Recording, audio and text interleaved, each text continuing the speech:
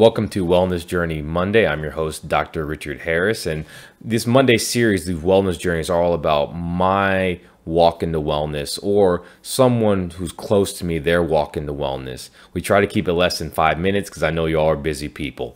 But what I want to talk to about today is intermittent fasting. And I actually have a webinar coming up about this on Wednesday, live webinar. I'll post the links in the post, but I'll also on Instagram have the link in my bio for well as if you want to check out this webinar on intermittent fasting I'm doing with Dr. Brian Bisher. It's going to be awesome. But I started fasting about two years ago, two and a half years ago. And I originally did it because I wanted to lean up a little bit. And I knew that fasting was great for body composition.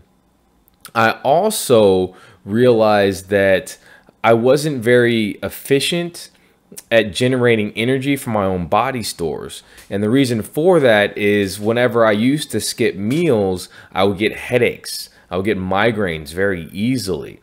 And I was eating at that time, you know, a typical bodybuilder type diet with a lot of carbs. It was clean, but it was a lot of carbs. And I cut down on my carbs, went up on my good fats, and I felt better. And I said, okay, well, you know, I'm doing this kind of keto thing on and off at that time. And I said, okay, well, maybe fasting, if I boost my ketone levels, I'll feel better. And then I started fasting for a while. I felt better. I said, huh, okay. Um, let me do the, I used, I started with a one day uh, fast on Sundays and I, I progressively lengthened the time from two hours to four hours, six hours, eight hours. And part of this was religion, part of it was just I wanted to start fasting. And I lengthened out all the way to 24 to 36 hours. Uh, that's what I used to do. Nowadays, I do my Sunday fast a little bit different. But Uh, I also wanted to start doing the time restricted eating. There's a difference between the two, and I'll talk about a little bit about that on the webinar, the difference between time restricted eating and intermittent fasting. But once I started to be in tune with my body, I started realizing that I felt really bad whenever I ate breakfast. You know, it took me a while to realize that I didn't work out well in the fed state, so I started working out fasted. I felt better. And then I used to kind of switch around my time restricted eating window. Sometimes I would eat in the morning, sometimes I would eat in the evening.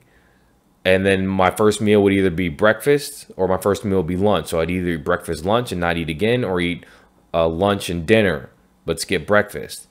And I found my body responded so much better to skipping breakfast. Like when I eat breakfast, I get lethargic, it upsets my stomach. I have poor mental focus, poor clarity. It's awful for me. You know, so everybody's different. So there's no right way to to figure out the eating window. You don't have to do always what someone else is doing. You can figure out what's best for your body.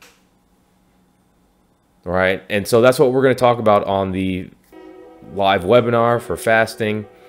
It has been a great tool for me. It's helped me with my fat loss goals. It's helped me with focus. It's helped me with mental clarity. We're going to dive into the data. There's a really good New England Journal of Medicine review article that was released last year that talked about some of the benefits of fasting. So this is what we're going to talk about in the webinar.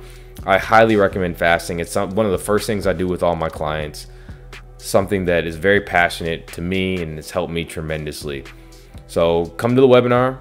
Like I said, the links will be in the post or if this is uh, if you're watching on Instagram, it'll be in my bio. Thank you and have a blessed evening.